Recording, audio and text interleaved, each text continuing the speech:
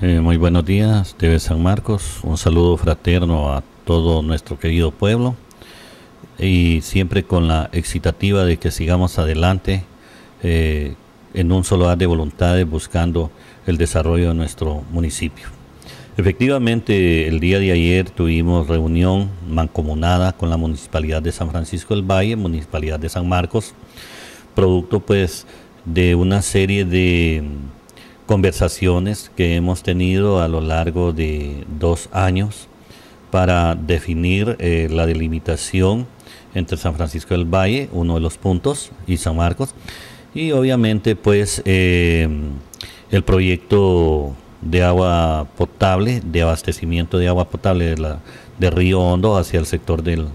del San Francisco del Valle. Obviamente para este proceso eh, se nombraron desde hace varios meses dos comisiones, una comisión técnica, una comisión jurídica, que ha ido haciendo en el transcurso del tiempo análisis en los dos conceptos para ver las capacidades y las factibilidades que puedan haber para eh, poderles eh, abastecer de agua, considerando que el agua es un recurso humano y por lo tanto pues queremos fortalecer esa hermandad a través de, un convenio de cooperación, pero donde ambas municipalidades se comprometen a un manejo, a una sostenibilidad de la cuenca porque hoy más que nunca debemos de proteger el, este fluido que garantiza pues la vida de los ciudadanos.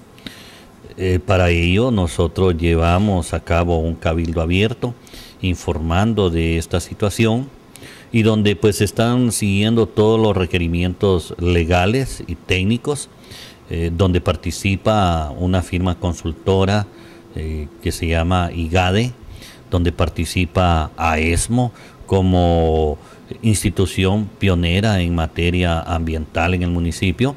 y también donde participa la Secretaría del Ambiente y de Recursos Naturales como el ACERNA. Es decir, eh, estamos siguiendo todo un proceso lógico para que sustentemos eh, esta situación y a futuro pues no tengamos eh, problemas ni podamos heredar problemas a las futuras generaciones. Más que todo, licenciado, por parte de esta microcuenca Río Hondo, se abastece de agua San Marcos, Cotepeque y próximamente el municipio de San Francisco del Valle. Río Hondo es la, cuenca más importante en el municipio, eh, con un caudal enorme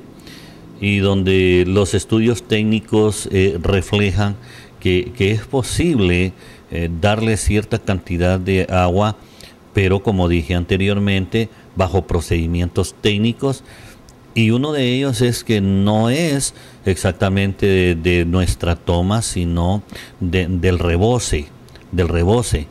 de, agua, es decir, que es de la otra parte que se bota, pero donde estamos haciendo nosotros eh, los estudios a fin pues de que también debemos de salvaguardar los intereses del municipio de San Marcos. Esta situación, eh, repito, la llevamos eh, a cabo a través de un cabildo abierto, donde trato de, llevar más allá la información en el sentido pues que a veces a los cabildos abiertos mucha gente no, no asiste. Pero a pesar de las invitaciones que, hacemos con suficiente antelación, pero eh, con la buena anuencia que tuvimos, pues eh, tuvieron propuestas, sugerencias, etcétera, y donde vemos pues que cuando un recurso de esto es declarado como recurso humano, entonces nosotros debemos de seguir los pasos de acuerdo a ley, respetando siempre y protegiendo los intereses o los sagrados intereses de nuestro municipio. Su mensaje final, licenciado, ya para concluir. Eh, nos aproximamos a una fiesta muy importante en el calendario cívico nacional, que es la celebración de nuestras fiestas patrias. En ese marco, pues, con antelación hacemos la cordial invitación a todo nuestro pueblo para que procedamos eh, a limpiar solares baldíos, que esto debe ser eh, permanentemente, porque la mejor forma de hacer civismo también es eh, comportando o demostrando una verdadera conducta ciudadana que sea orgullo de cada uno eh, de nosotros y que también sea el ejemplo para propios y extraños. aparte de eso, pues, propiciar un ornato en nuestra comunidad, eh, con las posibilidades que tengamos. No se necesita tener grandes riquezas para propiciar un entorno limpio y ornamentado en el espacio que habitamos. Así es de que ciudadanos y ciudadanas, con mi cariño, con mi respeto y con mi admiración,